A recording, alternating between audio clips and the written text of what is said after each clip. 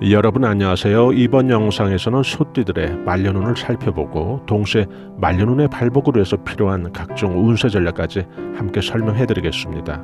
말년운이라고 했을 때 그 시기 구분은 은퇴 후 혹은 자녀들 출가시키고 난 후를 의미하니까요. 들으시면서 참고를 하시면 되겠죠. 말년운이 제일 중요한 운이죠. 초년운이 아무리 좋아도 말년운이 나쁘다면 의미가 없을 테니까요. 나는 왕년에 이런 사람이었어 라고 말하는 사람보다는 초년엔 내가 무지 고생했는데 노후에 그냥 고민 없이 이렇게 살고 있다 라고 누군가 말을 할 수 있다면 그것이 더 나은 삶인 거죠. 말년운이 중요한 까닭은 열두 띠 어느 띠나 공통적으로 해당될 그런 내용이지만은 첫째 말년이라는 이 시기가 갖는 시간적인 의미 때문이죠. 인생의 수확과 마무리를 하는 시점이라 더욱 그런데요. 이 시기는 초년처럼 새로이 도전하거나 혹은 재개한다든지 할 때 그 여건이 녹록치 않다는 것이죠. 둘째는 평균 수명의 증가로 큰 병 없으면 누구나 100세까지 살게 되는 그런 시기가 됨으로써 은퇴 후에 또 일이나 직업 없이 아주 긴 자녀 수명을 살게 되다 보니 이 말년이 차지하는 시간이 인생에서 다른 나이 때보다 제일 긴 시기를 차지하게 되고 이러다 보니 자연스럽게 이 시기의 삶이 중요하게 와닿게 되는 거죠. 셋째는 말년운이라고 하면 보통 한 사람의 운이 아니고 보통의 경우 그 말년운 속에 가족 구성원들 모두를 포함한다는 것이죠.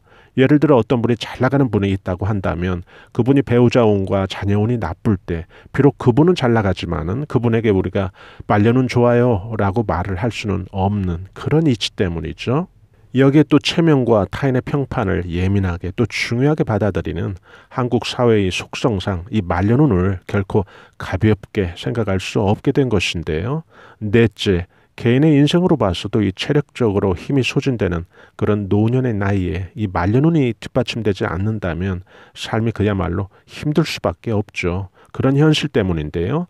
말년운이 박복하다면 나이가 노년이 되어도 생계를 유지하기 위한 일을 계속할 수밖에 없고 또 나이든 노년에 좋은 일자리는 당연히 아닐 것이고요. 이런 까닭에 말년운이 참 중요한 것이죠.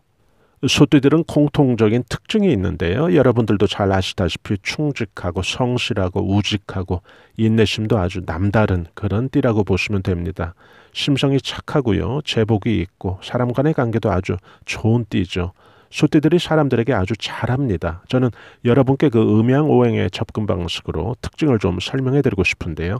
이것은 소띠 여러분들이 말년운을 풀어가는 과정에서 드러날 수밖에 없는 또 사주의 주인인 여러분들의 특징이기도 하지만은 또 동시에 말년운 전개가 돼가는 그런 과정을 이해하는 아주 좋은 정보가 되기 때문인데요. 소띠는 음양으로는 음이고 오행으로는 토입니다. 즉 음기운의 토, 음기운의 흑인 셈이죠. 여러분들이 생년에 따라서 다양한 천간 때문에 천간까지 살피면 여러 오행의 소띠가 있겠죠. 그러나 여기에서는 오늘 지지의 오행만 대표적으로 살펴서 각기 띠들이 고유하게 갖고 있는 이 지지와 오행만 집중해서 살펴보겠습니다. 다른 천관과 오행은 오늘 다루지 않겠습니다. 지지가 소띠인 음기운의 토만 집중해서 제가 설명을 해드릴 텐데요. 이 방법이 모든 소띠들에게 폭넓게 적용된다는 그런 장점이 있으니까요. 불의 기운은 어떤가요, 여러분? 불의 기운은 낮은 곳에서 높은 곳으로 향하는 방향성을 갖고 있죠. 또 물은 어떤가요? 물은 높은 곳에서 낮은 곳으로 향하는 그런 방향성을 갖고 있죠. 지금 소띠가 해당되는 이 토는 어떤 방향성을 갖고 있을까요? 이 토의 방향성은 앞서 예를 든 오행, 물과 불처럼 수직성이라는 그런 방향성 대신에 수평적인 방향성을 갖고 있거든요. 예를 들어 땅을 개간할 때그 모습을 여러분들이 연상해 보시면 쉽게 이해가 되실 텐데요. 소띠 여러분들이 여기서 한 가지 또 눈여겨 보셔야 할 부분이 있는데요. 이 토를 키우는 것은 불이거든요. 토는 불을 만났을 때 에너지를 충전받는 것인데요. 그렇게 또 취한 에너지를 근원 삼아서 이 토는 금에게 자신의 에너지를 주면서 상생 관계가 되는데요. 토는 불을 만났을 때 토의 기운이 아주 강해진다는 것은 실제 생활에서 우리가 이것을 소띠에게 적용해 보면 소띠분들은 남자건 여자건 불의 성품, 오행인 불의 품성을 닮은 불의 성품을 닮은 그런 사람을 만났을 때 소띠 입장에서 제일 좋다는 얘기거든요. 그것이 결혼 관계이든 사업적인 혹은 동업의 관계이든 마찬가지고요. 불의 성품이라는 것은 오행 불의 성품을 의미하고요. 이것은 띠를 의미하는 것은 아니니까요. 들으시면서 차고 없으시길 바라고요.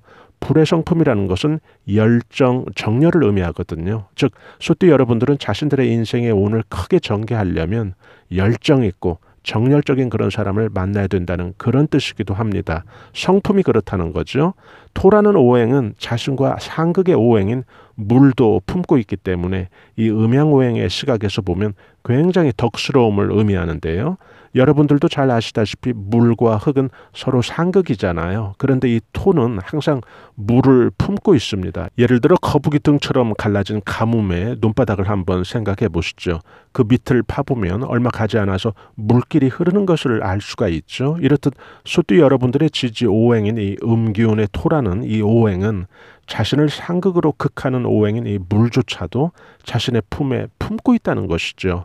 바로 이런 면이 소띠 여러분들이 말려놓은 전개나 혹은 여러분들의 실제 생활에서 그대로 나타난다는 거죠. 이런 오행적 해석으로 인해서 소띠는 가장 덕스러움을 갖춘 그런 띠라고 말하는 근거가 될 수가 있겠습니다. 상극인 오행도 품는다는 것은 소띠들은 결국 실제 생활에서도 덕스럽게 포용하는 면이 두드러진 그런 띠라는 걸 보여주는 거죠. 소띠의 말년운의 전개는 자수성가 또 자력갱생하듯이 스스로 만들어가는 그런 운이 강한 특징이 있고요. 또 사업이 적성과 아주 잘 맞는 그런 띠이기도 합니다. 중년 이후로 재물복이 안정되게 유지돼서 문서운이 좋은 그런 경향도 있고요. 또 소띠는 그래서 문서운이 있어서 재테크로도 부동산과 아주 잘 맞는 그런 띠라고 보시면 되겠죠. 소띠는 언행이 좀 신중한 그런 성격에서 보이듯이 말년운의 전개도 빈틈없이 차곡차곡 성과를 만들어가는 그런 운세를 보여주는데요. 과묵하지만 성실하고 끈기 있게 초질관하는 그런 띠의 특징을 함께 보여준다고 봐야 할 텐데요. 소띠 특징 가운데 또 하나는 보통 다른 띠들 같은 경우는 이 원진과 상충 관계가 되더라도 그것이 반드시 상극 관계는 아닌 경우가 많은 것도 사실인데요.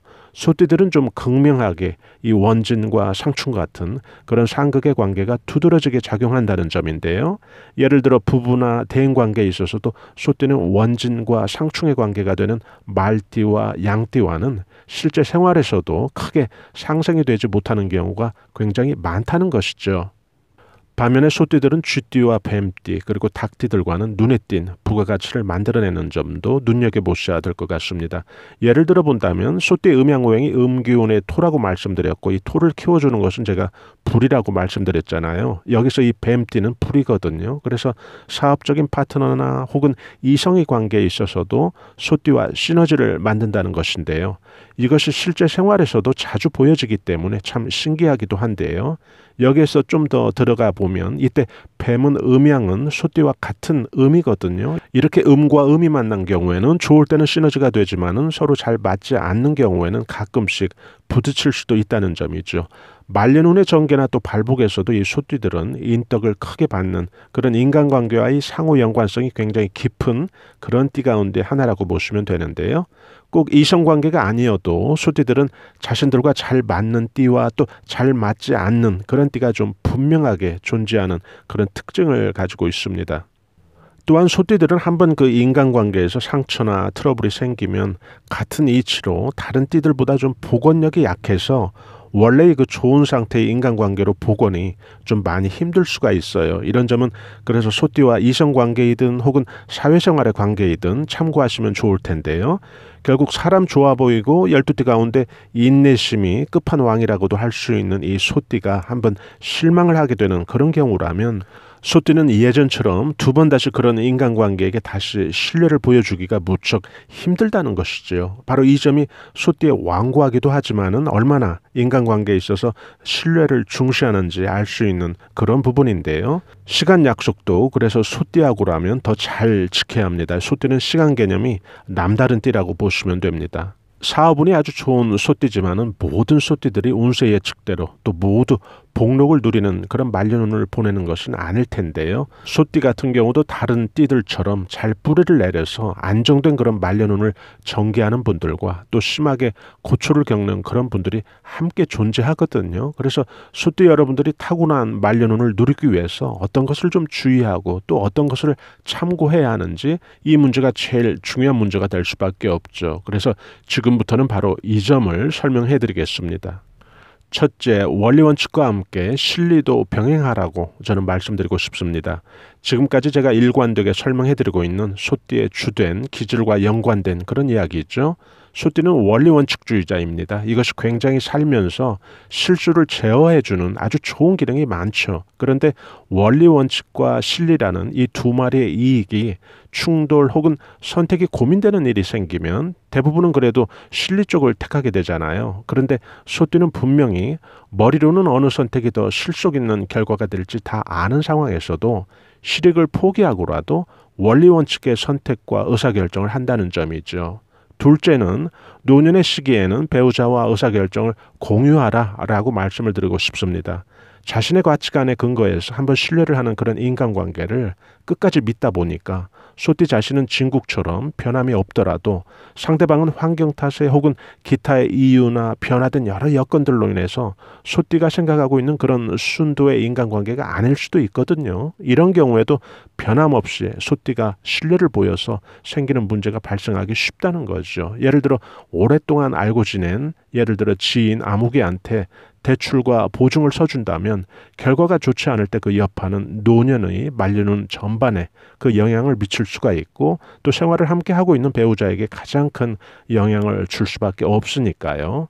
셋째, 소비도 필요하다. 특히 자신과 가족을 위해서라도 이 말씀을 꼭 드리고 싶은데요. 소띠들은 경제관념이 남다른 띠 중에 하나거든요. 명분이 있는 곳에 아주 통 크게 잘 쓰는 스타일입니다. 그런데 돈이 잘 소비되지 않는 띠죠. 자신과 가족을 위한 명분이 아닌 기분을 위해서라도 혹은 실용은 아니지만 미적인 투자라고 생각을 해서 소비도 필요하다고 말씀을 드리고 싶고요. 넷째, 운이 좋고 운이 확장기에는 사업의 안목을 다변화 또 사업이나 투자를 더 공격적으로 하라고 말씀을 드리고 싶은데요. 소띠들은 성실파들이죠. 그래서 자신들의 노동이 들어간 것에 자긍심을 갖고 노동 외적인 투자에서 혹은 사업적인 다각화라든지 흔히 하는 말로 운이 관련된 그런 부가가치는 크게 반기지 않는 그런 스타일이기도 합니다.